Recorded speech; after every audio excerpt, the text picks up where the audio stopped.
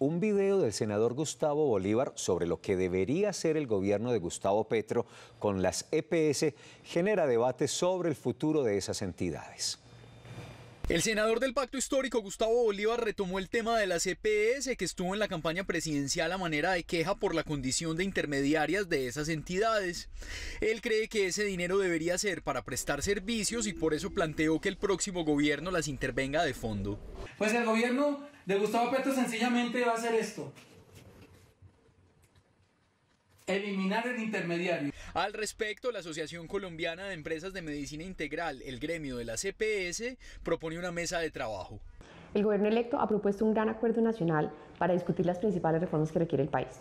El sector salud será parte de este acuerdo nacional y desde las EPS representadas en la SEMI estamos listas para ser parte de esa transformación que requieren los ciudadanos para tener un mejor sistema de salud. El próximo reto que enfrentará el nuevo presidente de la República es el deterioro grave de la salud pública que hay en Colombia, el aumento de la mortalidad materna, perinatal e infantil, el aumento de la desnutrición y la mortalidad por enfermedades crónicas no transmisibles, todas mortalidades evitables. En el país hay 40 EPS. El senador Bolívar también cree que podrían modificárseles las normas para no borrarlas de tajo.